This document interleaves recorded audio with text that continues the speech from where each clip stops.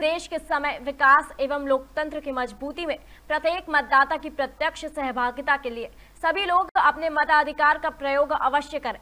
आपको बता दें कि लंबी आयु और योग के चलते प्रसिद्ध हुए पद्मश्री स्वामी शिवानंद इन दोनों उत्तरकाशी प्रवास पर हैं।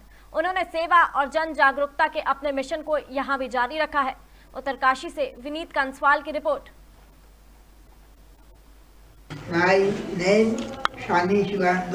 My present age 128 running. I am a citizen of India.